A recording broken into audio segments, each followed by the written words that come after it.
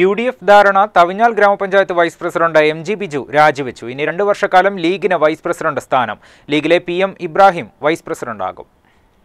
കഴിഞ്ഞ പഞ്ചായത്ത് തിരഞ്ഞെടുപ്പിൽ Thavinhal U D F അധികാരത്തിൽ വന്ന ശേഷം ധാരണ പ്രകാരം ആദ്യ ടീമിൽ വൈസ് പ്രസിഡന്റ് സ്ഥാനം കോൺഗ്രസിനും പിന്നീട് രണ്ടു വർഷം ലീഗിനുമെന്നാണ് ധാരണ.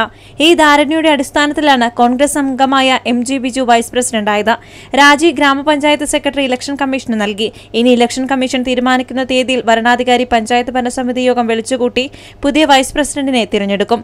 നിലവിൽ ലീഗിലെ പത്തൊൻപതാം വാർഡ് കാരച്ചാലിൽ നിന്നും തിരഞ്ഞെടുക്കപ്പെട്ട പി എം ഇബ്രാഹിമായിരിക്കും പുതിയ വൈസ് പ്രസിഡന്റായി തിരഞ്ഞെടുക്കപ്പെടുക.